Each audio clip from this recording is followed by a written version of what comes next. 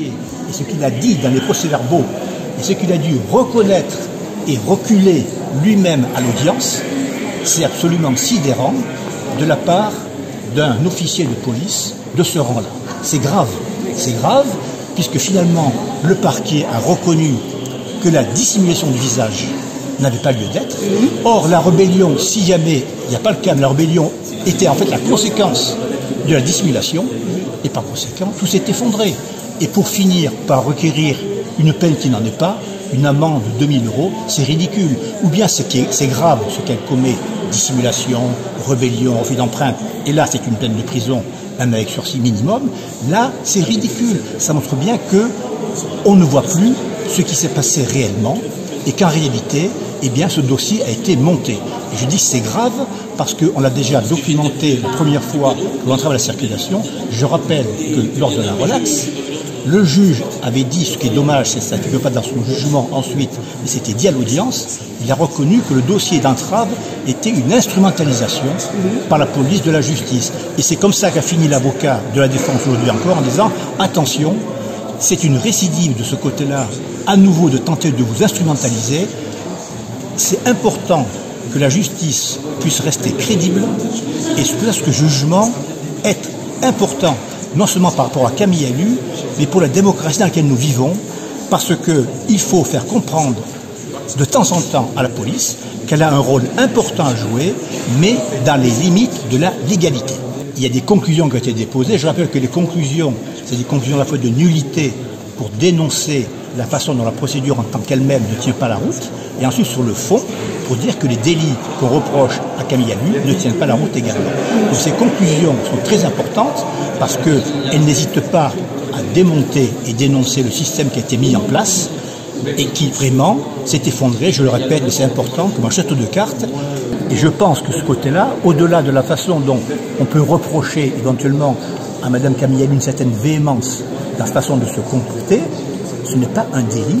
Le délit, et en plus, ce qui est important à noter, c'est que normalement, c'est à l'accusation à démontrer qu'on est coupable. Mhm. Alors que là, en fait, c'est nous qui avons démontré en réalité, hein, démontré que l'innocence d'être reconnue. C'est une, une, inversion du charge de la preuve, qui je pense va être confirmée, mais c'est grave dans le cadre d'un système démocratique où c'est le prévenu qui doit lui-même démontrer son innocence, alors qu'en fait c'est à l'accusation à démontrer qu'il est coupable.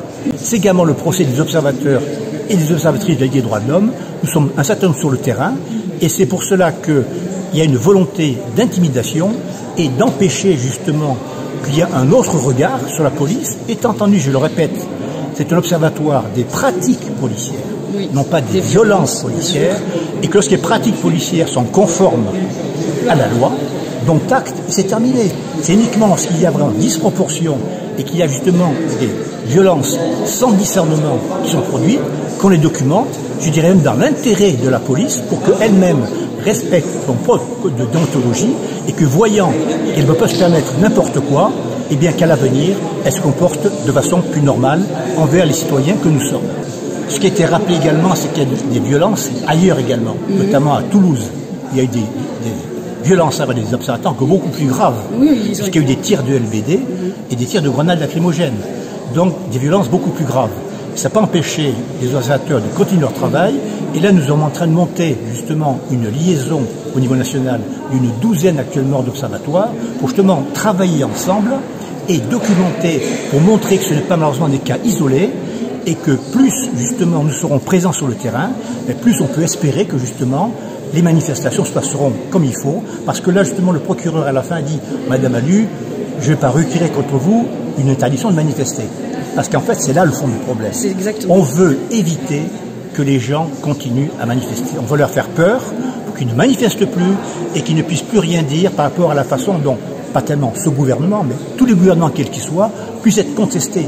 La liberté de manifester est une liberté fondamentale qui permet justement de pouvoir, en démocratie, exercer ses droits par rapport au pouvoir lorsque ce pouvoir dérape. C'est pas automatique, lorsqu'il dérape, on doit être présent et le démonter.